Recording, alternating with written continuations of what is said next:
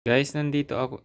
Hello po. Nandito po ako sa ano ngayon sa hotel. May nakita akong ano safety ano po. Parang packet. So nakalagay diyan guys ano close door and press reset. Ayun, pwede niyo itago diyan yung mga malagang bagay niyo habang nasa hot loob kayo ng hotel.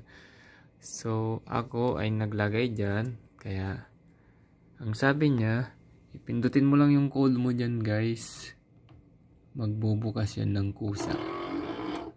Ayun naka-open. So buksan natin. Ayan. Dyan yung gamit ko guys. So may nakalagay dito na dear guest please leave the safe open when checking out.